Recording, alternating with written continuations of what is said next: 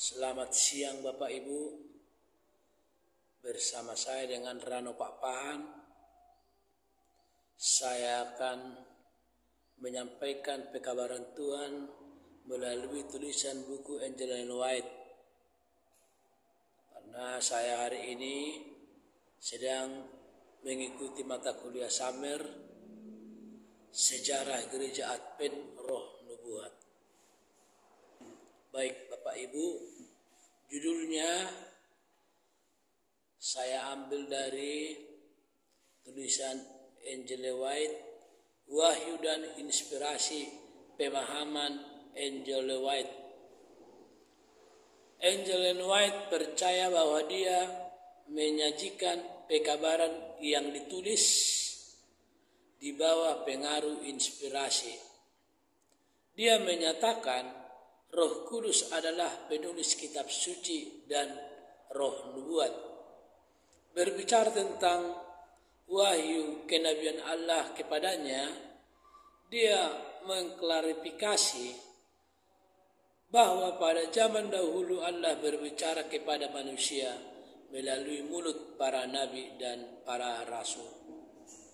Pada saat ini, dia berbicara kepada mereka melalui kesaksiannya rohnya.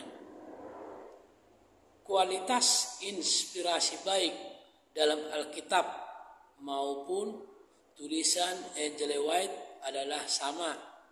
Meskipun tujuannya berbeda, Alkitab tetap menjadi dasar dari semua iman dan praktik-praktik Kristen. Perbedaan yang jelas antara tujuan dan peran Alkitab dibandingkan dengan tujuan atau tulisan-tulisan Angel White yang diuraikan di dalam bab-bab berikutnya. Tapi dalam kedua kasus sebuah pemahaman yang benar tentang wahyu dan inspirasi ilahi sangatlah penting bagi proses untuk mencoba menafsirkan dan memahami dengan benar proses komunikasi ilahi.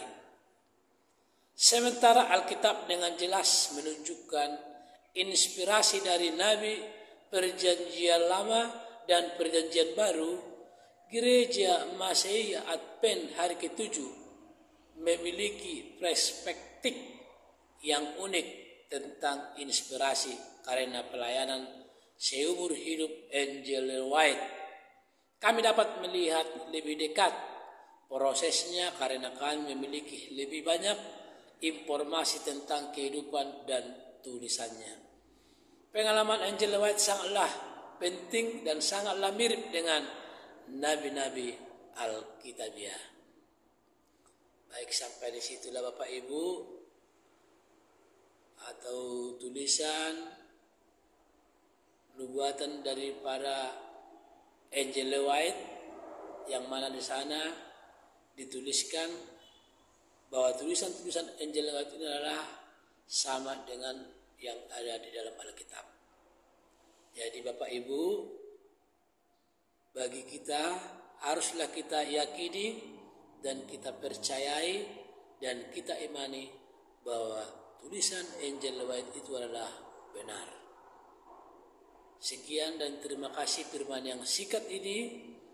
Biarlah melalui firman ini yang sikat dapat bermanfaat dan juga dapat mengangkat kerohanian kita lebih dekat kepada Yesus. Karena Tuhan memberkati. Amin.